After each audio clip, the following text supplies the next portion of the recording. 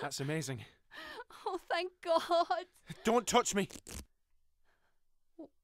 What, what's that wire? No, don't scream. I can't breathe. Please, I can't breathe. I'll take my hands away if you stop screaming. Have you calmed down now? You. You're the second bomber. Please listen to me. I didn't choose. I, I didn't even want to do this. What the hell does that mean? We don't have time for this right now. It's supposed to go off in exactly 20 minutes. Here, in this packed hotel. No, not in this hotel. I had to come here to get off the street, to clear my mind.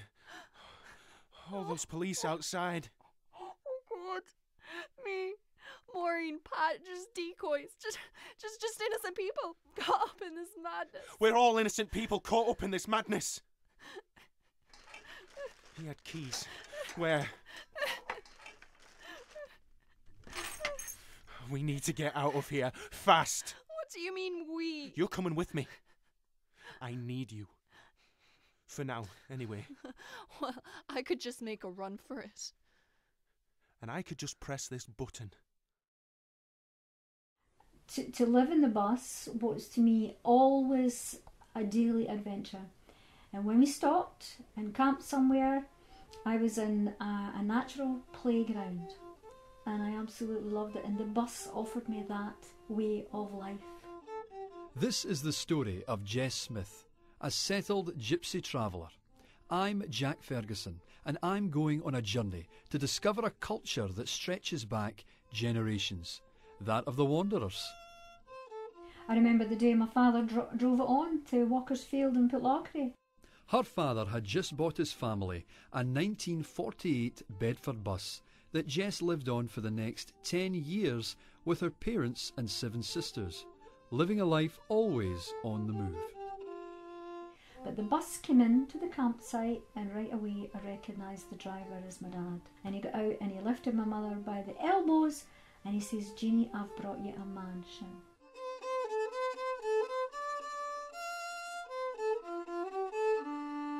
But I enjoyed my childhood because I was I was not restricted in any way, shape or form. And then if we stopped at a place where there was old ruins, old castle ruins, I was the queen of that castle. My imagination was free to roam. Chapter 8 Angry Well Dressed Doorman. Summer, Fall 2012. The next afternoon, I walked into Cabaret International. It was different. The girls were huddled up by the back wall. Some new owner bought the club. The same people who owned Rachel, supposedly. The Weigels. They already owned the shithole dollhouse directly across the street, but that dive could never compete with Cabaret. They immediately fired all of the DJs. The cute girls I was there for, and half the other girls, were already gone. It was half empty. The way it worked at Cabaret was the DJ was the point of contact for the girls. He is the one they would go to if they got sick and had to leave early. He is the one they would have to pay their house fee to at the end of the night. Only 10 or 15 dollars if I remember correctly, and tip out if they had a good night. This is how it worked at Club Madonna, at all Italian owned clubs, and at pretty much all the clubs I went to, except maybe Tootsie, which was too big. I was told Cabaret was owned by an Italian family, with a C, like Canonico or something. And supposedly they sold Cabaret International to the Weigels for north of a million, and still owned a strip club in Cocoa. The DJ being the point of contact for the strippers supposedly originated in the early 1990s. A DJ named Tony Galeotta started recruiting his own girls for Playmates Pompano. Club owners are businessmen who know how to get liquor licenses. DJs are cool, and they can do things club owners can't, like know what music is popular, sell cocaine, who knows. There was one DJ in particular at Cabaret, the main DJ, whom the prettier girls were very close to. He was a cool guy for his age, but very square looking and kind of a father figure. I don't know if he was having sex with the strippers. He liked the girls so much, my guess is he did have sex with them. What else would he be in it for? Now he was gone, and the girls he was close to, the cute girls, quit the same day. I never saw any of them again. With all of the girls gone, I was reduced to coming into cabaret each week to check for cute girls, the same as I had at Club Madonna. It is wrong to just sit and watch girls dance without spending any money. And it's insulting to do it for 10 or 20 minutes and then leave. But I also learned the hard way that you can't just tip random girls in Orlando. They get the wrong idea. The next time you come in, they won't leave you alone, and they will punch other girls who try to talk to you. It takes a month to shake them off. On the last day, you were the one who gets punched for leading them on the day you tipped them and then dumping them.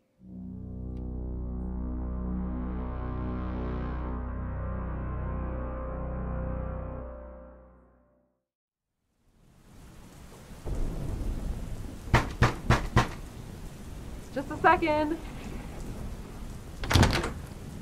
Oh, hey. What's up?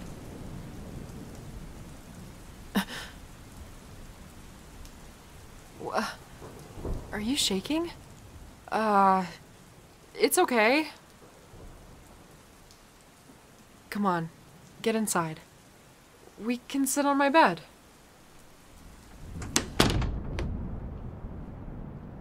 That's it. I'll sit next to you. Here, you can lean on me. What's going on? Well, it's clearly not nothing. Look, I'm not gonna make you talk about it, but I'm here, okay?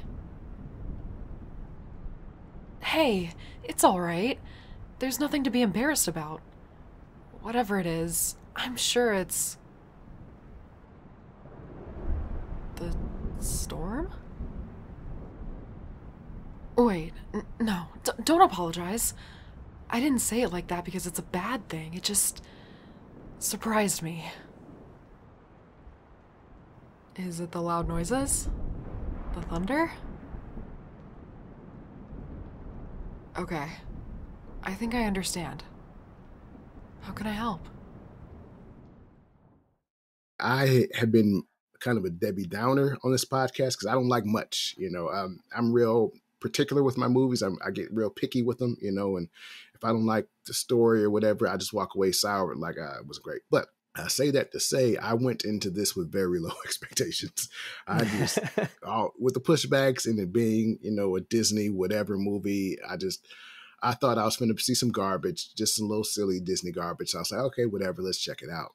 I had, I think about 10 minutes in, I had to stop to do something. And I, I got my phone out and I was like, I'm 10 minutes into Jungle Cruise and I'm pretty sure this is my favorite movie of the year. I don't know.